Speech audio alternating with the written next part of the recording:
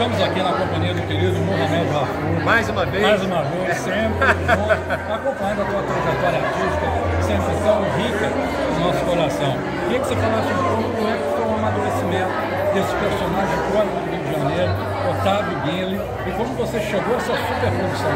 É, bom, esse espetáculo estreou dois anos atrás com o Cláudio Lins protagonizando. Sou fã do Cláudio Lins e, e com esse elenco maravilhoso. Ele não pôde fazer essa temporada, eu, tava, eu, eu ia fazer um outro espetáculo, mas por conta das gravações do Vesga, que eu estou filmando agora, eu não teria condição de ter uma agenda de três meses. Me ligaram para fazer esse espetáculo por um mês aqui no Copacabana Palace. E aí eu olhei e falei, eu, eu beijo na boca da Sueli Franco. Eu falei, eu vou fazer.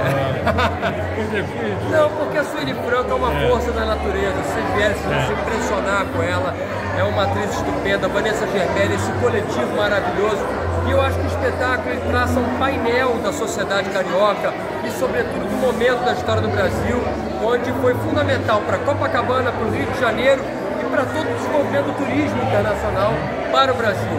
Então, é, é, é, e Otávio Guilherme é esse visionário apaixonado. Eu mirei em dois pontos, a paixão dele pela mulher e a paixão dele pelo Copacabana Palace. E daí eu trouxe, tentei imprimir a força e o sonho, porque eu acho que é, o visionário tem isso, né? A gente tem que, ele vê além, ele olha para esse deserto, esse areal e fala, vamos construir o Copacabana Apesar de todos os obstáculos. Exatamente, isso dá trajetória né, da diversidade, ou seja, a diversidade constrói essa, essa história épica desse, de, desse hotel que comemora agora 100 anos. Né? E você atualmente na, na TV aberta, na Globo, Sim. o Isaías de Renzo Garrido. Isaías, que é outro personagem que eu agradeço muito, é delicioso.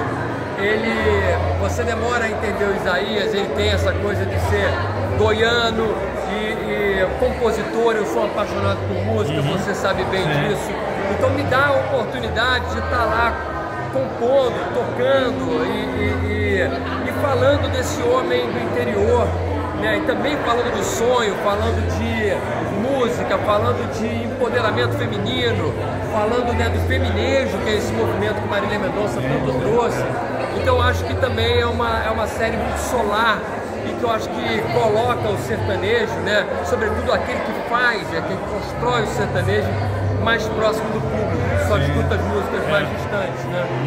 E a carreira musical, você também é um cantor de primeira, né? ah, né? É, eu, eu, eu, fiz um show recentemente num evento maravilhoso sobre gastronomia e eu adoro. Eu tenho minha banda, mas é difícil conciliar porque, graças a Deus, a gente não para. Como não para, a gente tem que tentar encaixar um evento no outro. Quando dá tudo certo, os filhos reclamam, pai, tô com saudade, você está muito fora de casa. Então é isso, a gente vai tentando se equilibrar sem deixar os pratos caírem. Pois é. Olha, muito sucesso sempre. Obrigado, eu agradeço a vocês. E obrigado a vocês pelo carinho, obrigado a vocês por sempre estar incentivando a cultura e por estar prestigiando a todos nós. É, a gente passou momentos muito difíceis, pandemia, enfim, é, um governo muito difícil também para todos nós. E agora com esse horizonte Ministério da Cultura e sobretudo vocês que são agentes da cultura.